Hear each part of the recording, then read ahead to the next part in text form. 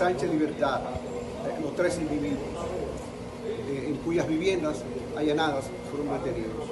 El que está eh, herido eh, fue hospitalizado en el centro público José María Cabral Ibáez de la ciudad de Santiago, bajo custodia está detenido.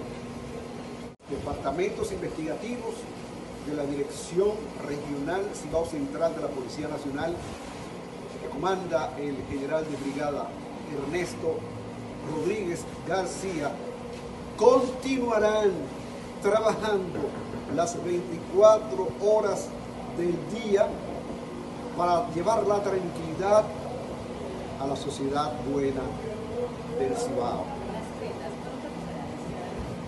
Los organismos investigativos en estos momentos están haciendo todos los operativos necesarios para llegar a esas prendas.